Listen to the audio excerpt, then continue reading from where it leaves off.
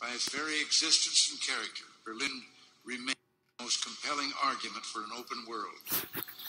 We're reminded of the many traditions of openness and democracy that have marked the history of this city. America missed me.